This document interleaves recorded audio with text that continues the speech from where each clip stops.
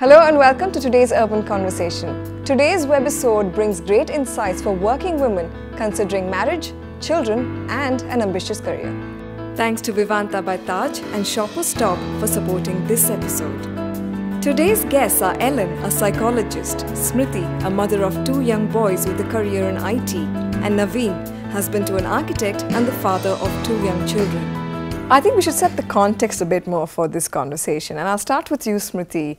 Can you tell me a bit about sort of your work life, you know, number of hours you spend at work and the kind of dynamics that go into managing home, motherhood and work? I would say the number of hours that I spend in travel is much more than the number of hours at work because I travel about 30 kilometers a day, which is really a challenge uh, for me to come to work more than the work itself.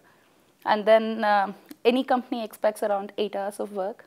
So I do manage around four hours at office, four to five hours, what I get. And the remaining is, as always, when I In get transit. back home. Or Yes. when you get back home? Yes, I do Okay. have to. So the 30 kilometer transit every day takes how long?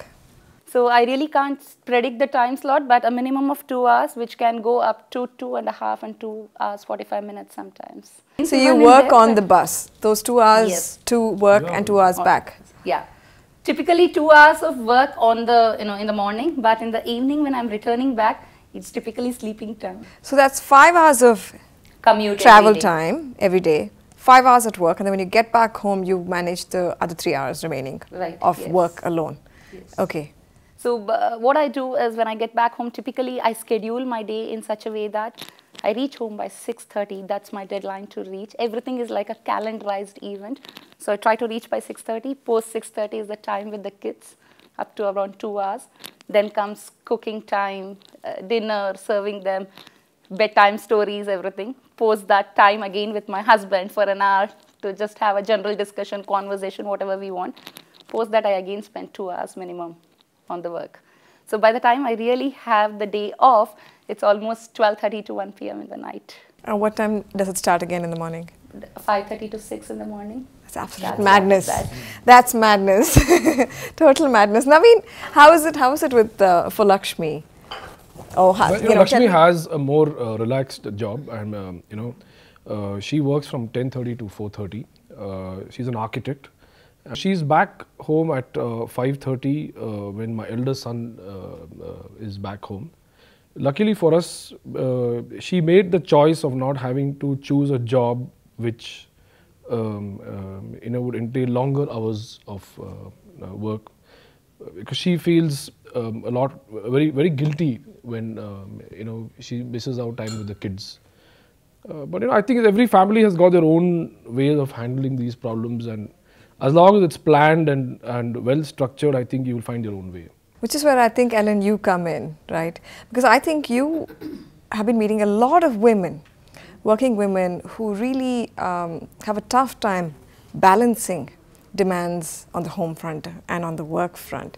And I think today, um, given that the majority of urban women are educated, working women, the moment they become mothers, the demands on them just increase right? Not just externally, contextually, but also from within themselves in terms of how much they want to deliver on every single sphere that they are participating in. Well, Lakshmi, you're extremely right. I think the demands come a lot externally, but much more internally. That's where the whole phenomena of guilt happens. You know, you're guilty when you're working that you're not giving enough time at home. When you spend a lot of time at home, then you're looking at, am I shortchanging the company, my colleagues, by not meeting team expectations and performing at the workplace? So, guilt is a common emotion that's experienced, and like Naveen brought up earlier in the conversation, one of the things one needs to do is make choices. Uh, his wife has made certain choices where to work, when to work, when to take a pause, um, and also to define work life balance for yourself. Now, work life balance is a commonly thrown around phrase. Uh, I think it works, it's different for different individuals, but even for individuals, it's different at different stages of your life. Absolutely. So work-life balance, the number of hours you can put into work uh, are different at in your late twenties, early thirties, and in your forties. You know, the balance must change, and you really need to look at making choices.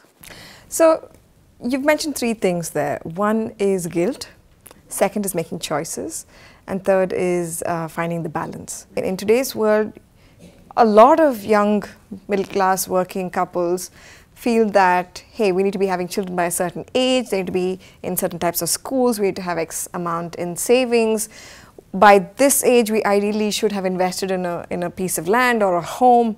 You should have a car there is a lot of financial demands so not not just the quality of life right now but also finances for the future savings for the children and and alongside all of that sits your careers in terms of what you want to achieve, where you want to go, what, you know, um, your identity, how it, that's going to evolve individually too. Um, how do you think we can stitch this all together without being caught in, in, in, a, in an environment where it's constant pressure? Intentionality is key. One must be intentional about choices.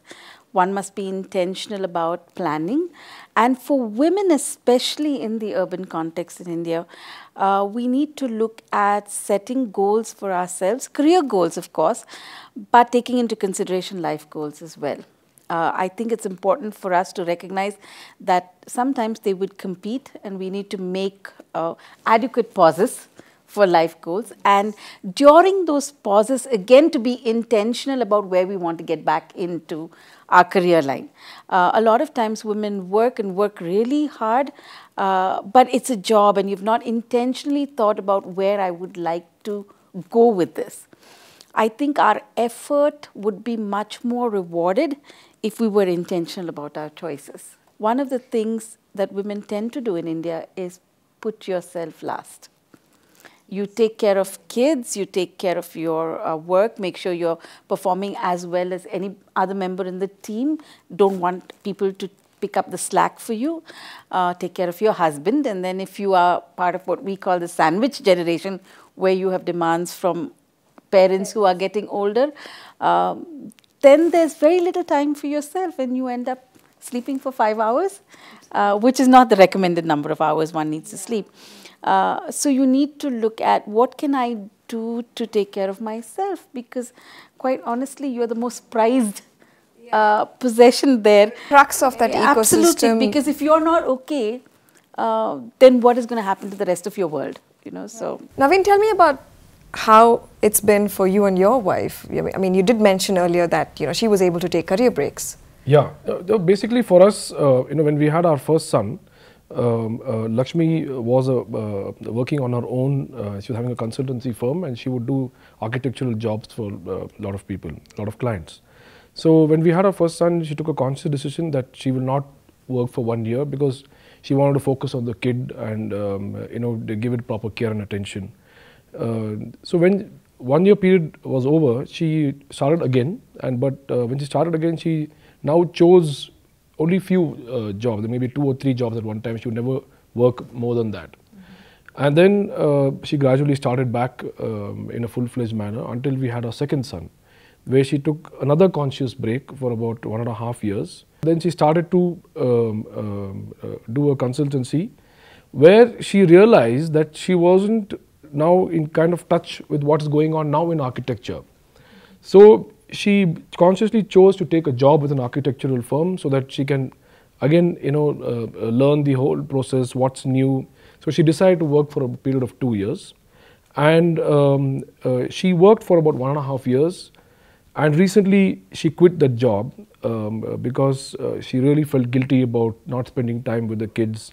And there uh, um, also with her job they asked her to put in a few hours extra after she completed one and a half years so now she's back, she's going to get back into her consultancy. So I guess if everybody plans um, um, in their own way, a structure which they can manage their careers and home life well, fantastic. I mean, that's the way to go forward. You know, I, I, do have a question there. So, obviously, once you and Lakshmi got married and you were thinking of children and stuff like that, there was some thinking that went into it. Uh, possibly some of it in hindsight once you know that the child was arriving in a couple of weeks or in a couple of months and then you sort of had to figure out what. No, we were actually a little late. We didn't do any planning until the first child was born. there you go. Which is, which, yeah, with a lot of families yeah. that happens. Yeah, I know, we didn't have a clue what was going to hit us. pre-warned the second time around. Yes, yeah. Maybe the second time you will be more prepared than the first time is always what I Yeah, felt. but you, was you, yeah, you are more prepared, but you never really prepared. You know. Yeah. So I have, a, I have a question for Smriti. Uh, were you able to take career breaks? Yes, I did, uh, but uh, not a very long career break. I took a six-month break uh, post-pregnancy uh, between two childbirths as well. Again, so for the second one as well, I took a six-month break. Okay. Uh, And were they were those breaks planned? Uh, no, not really. It was not a planned break. I knew that uh, this is the date that I need to go for the maternity break. And from there on, I was So the career breaks weren't planned. Yes, the, the, the maternity breaks were planned. Obviously, you know, once you knew the child was coming, you were like, okay, I need time off to look Yes, after all that I had in my mind was a minimum five-month break. Nothing, uh, you know, shorter than that. That's all I had on mind. But what will I do post that break? How will I shape up my career back? Am I going to work back? Those kind of questions still were there in my mind. I had no answers. Neither Did I you have the time to find answers though? Uh, yes, I did. That is only after the childbirth, nothing earlier to that. After the childbirth, probably I was the only one with the child. When the child used to sleep, I used to think through. So, what next? What next? What should I do?